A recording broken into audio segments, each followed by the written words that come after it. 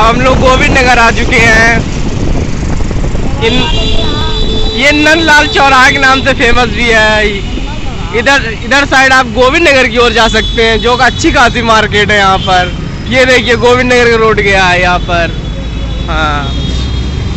काफ़ी जाम है सुबह टाइम इस समय लोग ऑफ़िस के लिए जाते हुए आप लोग। ये आर कन्या इंटर कॉलेज है। गर्ल्स कॉलेज गोविंद नगर का। ये देखिए नगर निगम वाला कूड़ा से। ये नगर निगम कूड़ा वाले गाड़ी वाले भैया हैं। अब हम लोग गोविंदपुरी पुल पर आ चुके हैं। ये देखिए किसी की बस की बारात खराब हो चुकी है। गोविंदपुरी पुल पर चढ़ चुके हैं। ये पुल रात के समय बहुत ही शानदार लगता है, जब लाइटिंग इसकी जलती है। अभी तो फ़िलहाल काफ़ी जाम है यहाँ पर। हाँ ये देखिए। छावड़ा फर्नीचर हाउस है।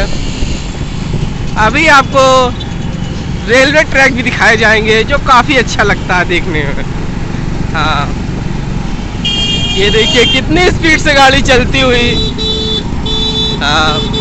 हमारे धीरेन्द्र भैया राइडिंग कर रहे हैं, काफ़ी अच्छी गाड़ी चलाते हुए।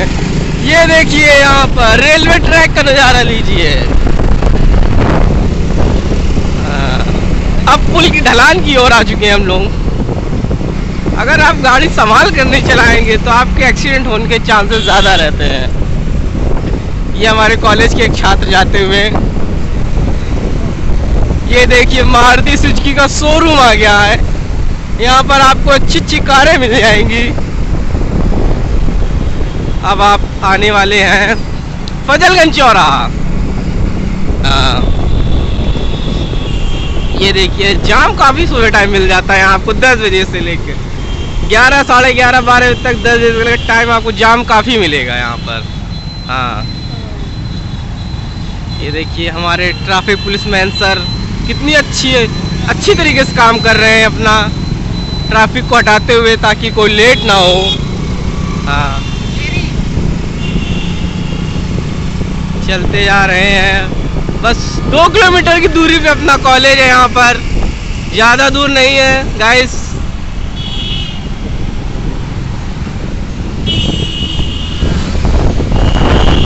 अभी आपको ये देखिए कितनी सुंदर कंपनी है यहाँ पर।